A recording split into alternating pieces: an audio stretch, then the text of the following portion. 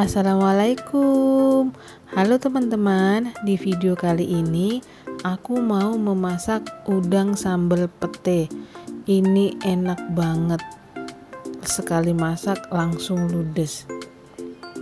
Nah di sini saya pakai pete ya teman-teman. Ini yang bikin tambah enak. Kita siapkan bahan-bahannya ya.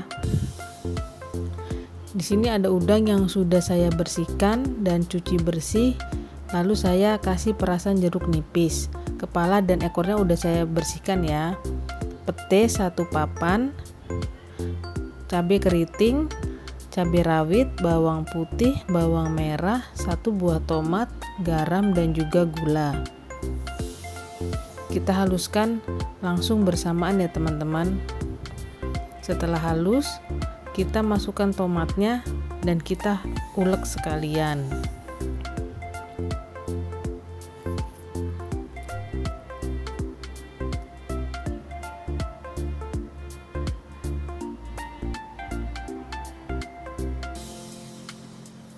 Lalu sudah halus, kita siapkan minyak untuk menumis sambal yang sudah kita ulek tadi. Setelah minyak panas, masukkan sambalnya. lalu kita tumis-tumis kita oseng-oseng sampai harum dan berubah warna nah seperti ini teman-teman kita tumis-tumis terus pokoknya ya lalu kita masukkan udangnya kita tumis lagi sampai semuanya terbalur dengan bumbu.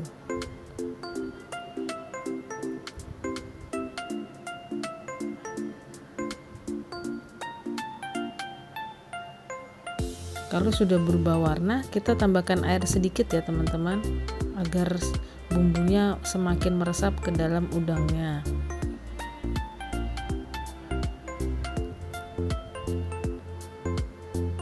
kita tumis terus sampai airnya sat.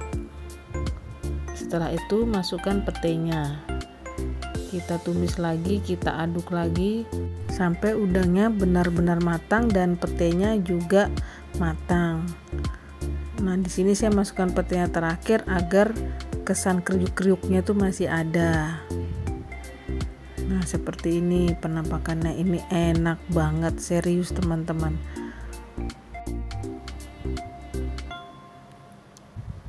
nah ini sudah matang kalau sudah seperti ini, sudah bisa kita sajikan di piring saji.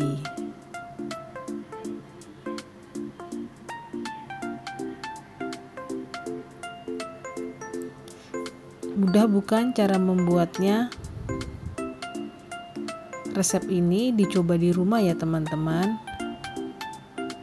Jangan lupa like, komen, dan juga subscribe agar aku tetap semangat untuk membuat video masaknya.